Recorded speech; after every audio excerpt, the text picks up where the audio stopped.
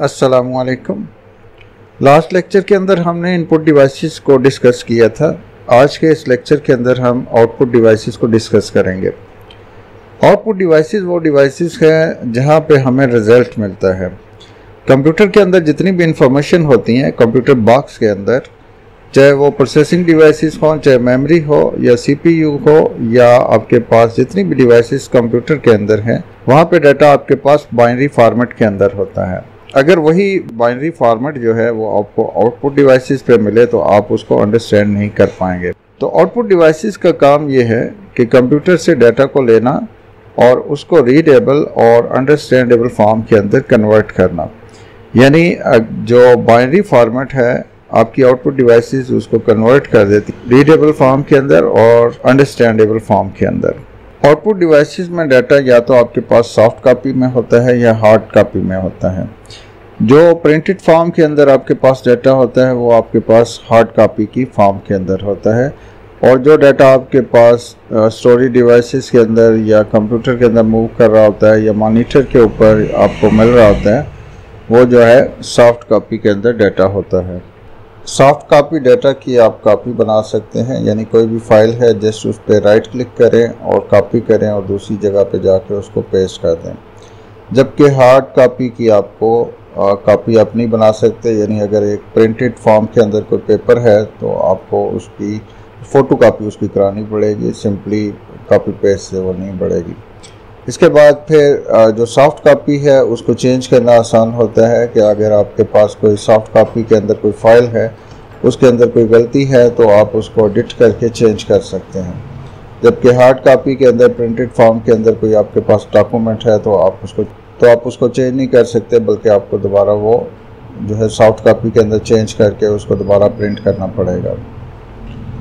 Next हम बात करते हैं मोस्टली यूज़ होने वाली आउटपुट डिवाइसेस पे। तो इसके अंदर हमारे पास ज़्यादा जो आउटपुट डिवाइसेस यूज़ होती हैं, वो सबसे ज़्यादा मॉनिटर उसके बाद फिर प्रिंटर है, फिर स्पीकर्स हैं, फिर प्लाटर्स हैं। तो सबसे पहले हम बात करते हैं मॉनिटर्स के ऊपर। आउटपुट डिवाइस में सबसे ज़्यादा जो आपके पास डिवाइस यूज़ होती है, वो है मॉनिटर मॉनिटर आपके टीवी की तरह से होते हैं। इसके अंदर आप टेक्स्ट पिक्चर्स मूवीज़ सब आपको यहाँ पे नज़र आ रहा होता है। इसको आप वी यू भी कहते हैं विजुअल डिस्प्ले यूनिट जो डिस्प्ले कर रही होती है आपकी आउटपुट को। मॉनिटर के अंदर जो है डिफरेंट प्रॉपर्टीज़ हैं उसमें सबसे पहले उस, उसका साइज़ है। उसका साइज़ जो है वो डायगनली जो है मैयर किया जाता है। मुख्तलिफ़ इंचज़ के अंदर जो है आपका मॉनिटर आ रहा होता है। बारह इंच फिर चौदह फिर पंद्रह सत्रह इक्कीस तेईस इंच के अंदर आपको मॉनिटर्स मिलेंगे। उसके बाद नेक्स्ट प्रॉपर्टी जो मॉनिटर की है, वो कलर है। जो शुरू में मॉनिटर आए, वो ब्लैक एंड वाइट मॉनिटर थे, फिर मोनो कलर मॉनिटर्स थे।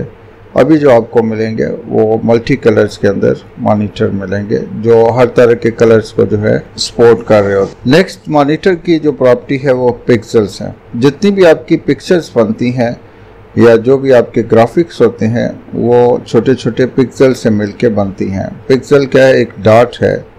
किसी भी इमेज को अगर आप उसको जूम करके देखें, उसको बड़ा करते जाएँ जूम करते जाएँ तो आपको पिक्सल बाय पिक्सल आपको पिक्चर नज़र आएगी।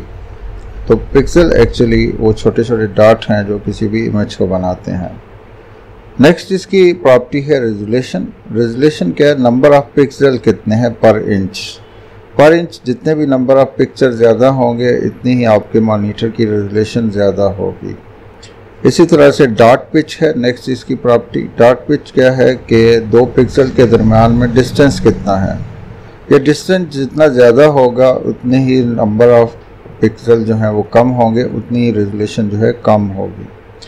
तो डॉट पिच जितनी ज़्यादा होगी, इतना ही आपकी रेजोल्यूशन ज़्यादा होगी और इतनी ही क्वालिटी मॉनिटर की अच्छी होगी। फिर मॉनिटर के अंदर हमारे पास डिफरेंट टाइप के मॉनिटर्स हैं। उसमें सी आर टी मॉनिटर है कैथोड रे ट्यूब जिसको हम कहते हैं।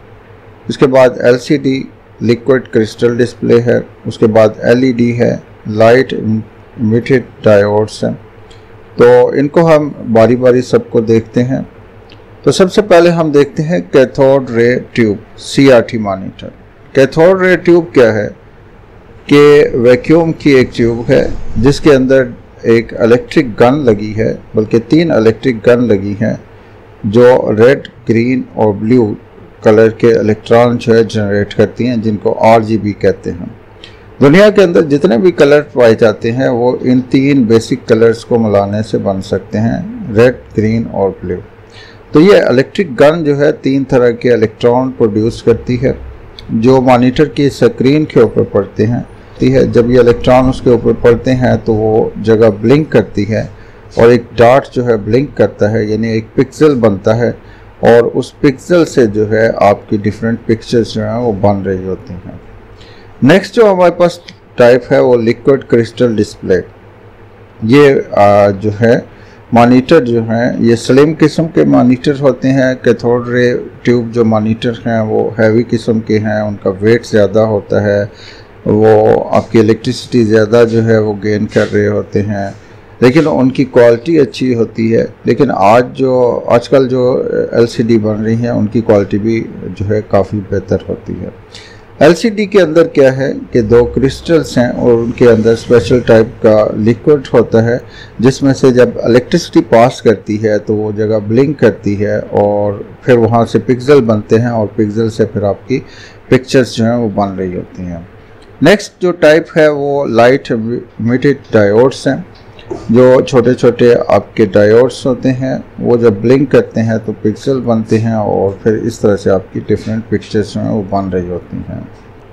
एलईडी और एलसीडी जो है, ये मॉनिटर जो हैं, ये आपके कम वेट के होते हैं, कम बिजली यूज़ करते हैं, इनका रिज़ल्ट भी अच्छा होता है और इनको इजीली आप मूव कर सकते हैं एक जगह से दूसरी जगह पे। जबकि आपके पास जो है सी आर टी मानीटर वज़न में भी ज़्यादा होते हैं और वो पावर भी ज़्यादा गेन कर रहे होते हैं। वो सिर्फ़ ये उनका फ़ायदा है कि वो थोड़े से सस्ते हैं, जबकि एल सी डी और एल ई डी मानीटर जो हैं ये महँगे होते हैं। सी आर मानीटर क्योंकि उनमें से इलेक्ट्रॉन जनरेट होते हैं इलेक्ट्रिक कन लगी होती हैं और वो आपके लिए हार्मफुल भी होते हैं। वो आँखों पे भी ज़्यादा असर करते हैं और आपकी जिल्द के ऊपर, बॉडी की जिल्द के अंदर भी वो कैंसर जो है उनसे हो सकता है। जबकि उनकी नस्बत जो है एल डी और एल सी डी मानीटर जो हैं, इनमें से इस तरह की कोई जो है इलेक्ट्रॉन जो है जनरेट नहीं हो रहे होते तो ये हार्मफुल भी नहीं होती। नेक्स्ट हमारे पास जो आउटपुट डिवाइसेस हैं, वो है प्रिंटर्स। तो प्रिंटर आपके पास वो आउटपुट डिवाइस है जो प्रिंटिंग की फॉर्म के अंदर आपको रिज़ल्ट तैयारी होती है। नॉर्मली जो पहले प्रिंटर इस्तेमाल होते थे, उनके अंदर पैरेलल पोर्ट जो है यूज़ होती थी। अब यूएसबी पोर्ट और वायरलेस पोर्ट के थ्रू भी आप वायरलेस कनेक्शन के थ्रू भी आप प्रिंटर्स को अपने कंप्यूटर के साथ जो है अटैच कर सकते हैं। प्रिंटर को हम उनकी क्वालिटी की बेस के ऊपर, उनकी कलर्स के बेस के ऊपर और उनकी स्पीड की बेस के ऊपर जो है डिफरेंट कैटेगरीज के अंदर जो है डिवाइड कर सकते हैं। मोस्टली जो दो टाइप जो हैं प्रिंटर्स की हमें मिलती हैं इम्पैक्ट प्रिंटर और non impact printer impact printer वो पुराने प्रिंटर्स हैं टाइपराइटर की तरह से। जो प्रिंटिंग जब करते हैं तो वो पेपर के ऊपर, उस पेपर के साथ जो है स्ट्राइक करते हैं। पेपर के साथ लगते हैं, जिसके वजह से क्या होता है कि ये प्रिंटर जो हैं, ये नॉइस जनरेट करते हैं। ये प्रिंटर जो हैं स्लो होते हैं और ये जो प्रिंटर होते हैं इम्पैक्ट प्रिंटर ये प्री डिफाइंड करेक्टर इनके अंदर होते हैं अल्फ़ाबेट्स होते हैं, या करेक्टर्स होते हैं। यानी जिस तरह से आपके पास एक स्टैंप होती है तो जिस तरह की स्टैंप बन गई है, उसी तरह से उसके अंदर प्रिंटिंग होगी।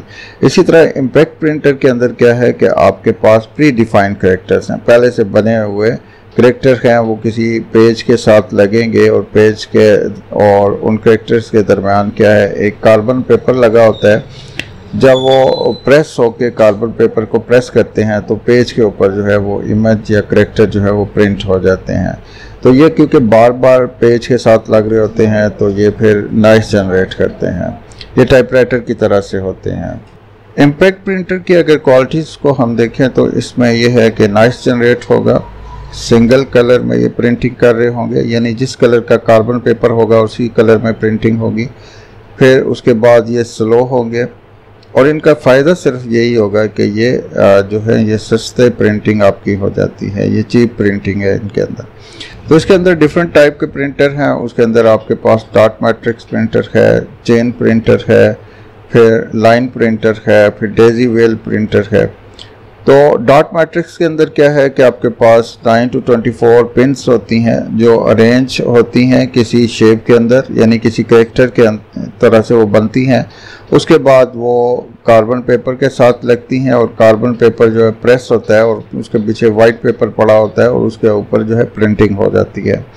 इसी तरह से डेजी व्हील के अंदर क्या है कि आप, आपके पास ए टू जी और ज़ीरो टू नाइन आपके पास करेक्टर बने हुए हैं और वो व्हील मूव करता है और फिर जो भी आपने करेक्टर जो है प्रिंट करना होता है वो सामने आता है और वो कार्बन पेपर के साथ लगता है और फिर वो वाइट पेपर के साथ लग के वो प्रिंटिंग करता है। इसी तरह से लाइन प्रिंटर के अंदर भी प्रिंटिंग होती है। तो ये जितने भी प्रिंटर होते हैं, ये नाइस जनरेट करते हैं, आवाज़ जो है पैदा होती है। जिस तरह से टाइपराइटर आप चलाते हैं तो टक टक की आवाज़ हो रही आती है। इसी तरह से इसके अंदर से नॉइस जनरेट होती है। क्वालिटी अच्छी नहीं होती है। सिंगल कलर्स के अंदर होते हैं।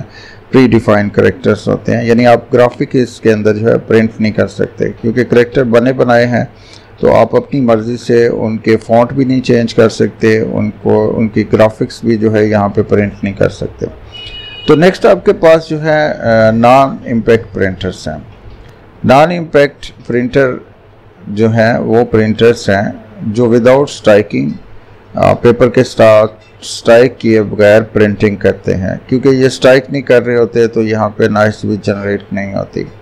फिर इनकी क्वालिटी भी अच्छी होती है। फिर ये मल्टी कलर्स के अंदर जो है प्रिंटिंग कर सकते हैं। और ये इनका फ़ायदा है, इनकी क्वालिटी भी अच्छी होती है, इनके अंदर ग्राफिक्स भी आप प्रिंट कर सकते हैं। इनका नुकसान सिर्फ़ ये है कि ये थोड़े से महँगे होते हैं। इम्पैक्ट प्रिंटर की नस्बत। तो नॉन इम्पैक्ट प्रिंटर के अंदर हमारे पास दो टाइप्स मिलती हैं जो मोस्टली ज़्यादा यूज़ होते हैं। उसमें हमारे पास इंक जेट प्रिंटर है और दूसरे आपके पास लेज़र प्रिंटर है। अगर हम बात करें इंक जेट की तो इंक जेट के अंदर क्या होता है कि दो तरह की बॉटल्स जो हैं वो इस्तेमाल होती हैं। एक बाटल के मज़ीद तीन हिस्से किए जाते हैं, जिसके अंदर R G B red green blue ink जो है वो यूज़ हो रही होती है, जबकि दूसरी बाटल के अंदर जो है ब्लैक कलर की जो है इंक यूज़ हो रही होती है। ये स्पेशल टाइप की इंक होती है, जो पेपर के ऊपर जैसे ही पड़ती है तो वो सूख जाती है। तो इसके अंदर क्या होता है कि एक जेट के अंदर क्या होता है कि नोज़ल लगी होती हैं, उस बॉटल के एंड के ऊपर नोज़ल लगी होती हैं, जिसके पीछे प्रेशर होता है और प्रेशर से जो इंक जो है वो बड़े दूर से ही उनको फेंक दिया जाता है, पेज के ऊपर। और जिस तरह का करेक्टर बनाना होता है उसी तरह से वहाँ पे करेक्टर बन जाता है ग्राफिक्स बन जाती हैं इनकी स्पीड भी अच्छी होती है और क्योंकि मल्टी कलर्स आर तीनों कलर्स हमारे पास दूसरी बाटल के अंदर मौजूद होते हैं तो किसी भी कलर को बनाने के लिए प्रिंटर पहले उन इंक को आपस में मिक्स करता है और उस, उसके बाद फिर नोज़ल से वो इंक जो है पेपर के ऊपर फेंक दी जाती है। ये ऐसे ही है जैसे आपके पास पानी का एक पाइप होता है और अगर वो पानी के पाइप जो है, उसको आगे जो है बिल्कुल छोटी सी नोज़ल लगा दी जाए तो आप उसको किसी भी जगह पे उसको फेंक सकते हैं। इसी तरह से इन नोज़ल से भी इंक जो है, वो पेपर के ऊपर फेंकी जाती है और वो बड़ी जल्दी से जो है, वो सूख जाती है। कि ये इंक जो है, दूर से ही फेंकी जाती है तो ये स्ट्राइक भी नहीं पेज के साथ कर रही होती तो नाइस जनरेट नहीं होता है इनके अंदर। इनकी क्वालिटीज़ ये हैं कि विदाउट नाइस जनरेटिंग आप प्रिंटिंग करते हैं फिर क्वालिटी इनकी अच्छी होती है स्पीड इनकी ज़्यादा होती है इम्पैक्ट प्रिंट प्रिंटर की नस्बत। फिर इनके अंदर आप ग्राफिक्स जो है उनको प्रिंट कर सकते हैं जबकि इम्पैक्ट प्रिंटर के अंदर आप नहीं प्रिंट कर सकते थे। आ, फिर इनके अंदर प्री डिफाइंड करेक्टर नहीं होते बल्कि हर तरह के फॉन्ट आप इनके अंदर से जो है प्रिंट कर सकते हैं हर तरह की प्रिंटिंग इनके अंदर से आप कर सकते हैं। नेक्स्ट जो दूसरी टाइप है आपके पास नॉन इम्पैक्ट प्रिंटर की वो है लेज़र प्रिंटर लेज़र प्रिंटर आपके फास्टरिंग प्रिंटर होते हैं ये तेज़ी के साथ प्रिंटर प्रिंट कर रहे होते हैं। इसके अंदर क्या होता है कि एक ड्रम जो है यूज़ होता है। आ, उस ड्रम के अंदर कार्बन होती है और लेज़र बीम से उसके ऊपर जो है जो भी इमेज या जो भी टेक्स्ट है वो बनाया जाता है। और वाइट पेपर जब उसके पास से गुजरता है तो उस ड्रम का अंदर जो है, उसको नेगेटिव या पॉजिटिव कोई एक चार्ज उसको कर दिया जाता है और जो पेज उसके अंदर से गुजर रहा होता है, उसका ऑपोजिट चार्ज उसके ऊपर होता है। तो जब वो पेज उस ड्रम के पास से गुजरता है तो जो भी इमेज ड्रम के ऊपर होता है, वो मुंतकिल हो जाता है पेज के ऊपर। और फिर उस पेज को जो है, एक और ड्रम से गुजारा जाता है, जो उसको न्यूट्रल कर देता है और उस इमेज को या उस टेक्स्ट को जो है, वो परमानेंट कर देता है। तो ये जो आपके पास लेज़र प्रिंटर होते हैं, ये फास्ट प्रिंटिंग करते हैं इंक जेट से भी ये फास्ट होते हैं और इनकी number of pages per minute जो है वो ज़्यादा होते हैं as compare to inkjet के। फिर इनकी क्वालिटी भी जो है वो ज़्यादा बेहतर हो लेज़र प्रिंटर के अंदर भी फिर आपके पास कलर प्रिंटर होते हैं और simple black and white printer भी आपके पास होते हैं। तो ये प्रिंटर की कुछ टाइप्स थी यहाँ पे। नेक्स्ट हमारे पास जो टाइप है वो है प्लाटर है। आउटपुट डिवाइसेस के अंदर नेक्स्ट जो हमारे पास टाइप है वो प्लाटर है। प्लाटर भी जो है प्रिंटर की तरह से काम कर रहे होते हैं। प्लाटर और प्रिंटर में फ़र्क सिर्फ़ से इतना है कि ये लार्ज स्केल के अंदर लार्ज साइज़ के अंदर प्रिंटिंग कर रहे होते हैं। प्रिंटर जो है वो नॉर्मल आपके पास ए फोर पेज या लीगल पेज या जो भी आपके पास पेज है, छोटे साइज़ के अंदर, उसके अंदर प्रिंटिंग कर रहा होता है। जबकि प्लाटर जो है, जब आपने बड़े बड़े कोई नक्शे प्रिंट करने हैं, कोई बड़ा ग्राफिक्स जो है वो प्रिंट करने हैं तो प्रिंटर से वो प्रिंट नहीं हो सकते तो उनके लिए फिर प्लाटर जो है वो यूज़ किए जाते हैं। तो प्लाटर में फिर आगे आपके पास फिर दो टाइप्स के जो हैं, वो प्लाटर जो है, नॉर्मल यूज़ होते हैं। एक फ्लैट बेल्ट प्लाटर हैं और दूसरा आपके पास ट्रम प्लाटर हैं। फ्लैट बेल्ट जो प्लाटर हैं, इसके अंदर क्या होता है कि पेज को रख दिया जाता है और उसके ऊपर जो है डिफरेंट कलर्स के पेन लगे होते हैं। जो स्लाइडर के ऊपर, वो स्लाइडर जो है मूव करता है। जो है और पेन जो है लेफ़्ट राइट जो है मूव करते हैं, इस तरह से प्रिंटिंग की जाती है। जबकि दूसरे आपके पास जो ड्रम प्लाटर हैं, उसके अंदर क्या होता है कि एक पेज जो है ड्रम के साथ या प्लाटर के साथ लगा दिया जाता है और ड्रम वो मूव करता है। और पेज जो है उसके अंदर से मूव करता रहता है। जैसे आपने देखा होगा ईसीजी e रिपोर्ट जब आपकी जनरेट होती है तो वो ड्रम प्लाटर होता है, जिसमें एक लंबा सा पेज पेज जो है, या पेपर जो है, उसके साथ लगा दिया जाता है, और वो ईसीजी e रिपोर्ट जो है, वो आपकी बन रही होती है, वो उसके अंदर जो है जो है प्रिंटिंग कर रहा होता है। तो ये हमारे पास जो है दो तरह के प्लाटर थे। नेक्स्ट हमारे पास जो आउटपुट डिवाइस है, वो स्पीकर्स हैं। स्पीकर साउंड को जनरेट करने के लिए इस्तेमाल किए जाते हैं। आपके कंप्यूटर से जो है इलेक्ट्रिक सिग्नल जो है वो जनरेट होते हैं एज ए आउटपुट डिवाइस पे वो पहुँचते हैं जब। तो स्पीकर उन इलेक्ट्रिक सिग्नल्स को जो है एनालॉग सिग्नल्स के अंदर यानी साउंड के अंदर जो है कन्वर्ट करते हैं। तो डिफरेंट टाइप के स्पीकर भी आपको मिलेंगे साइज़ के हिसाब से डिफरेंट टाइप के जो है स्पीकर आपको मिलेंगे। तो हमारा चैप्टर यहाँ पे ख़त्म होता है। तो नेक्स्ट में इसके अंदर जितने भी चैप्टर नेक्स्ट लेक्चर के अंदर हम इस पूरे चैप्टर की जो है समरी को हम डिस्कस करेंगे। जितनी भी पॉइंट्स हमने पढ़े उनको डिस्कस करेंगे। तो नेक्स्ट लेक्चर तक मुझे अपनी दुआओं में याद रखिएगा। अल्लाह पाक आपको अपनी मान में रखे। तब तक नेक्स्ट लेक्चर तक के लिए मुझे इजाज़त दीजिए। अल्लाह हाफिज़।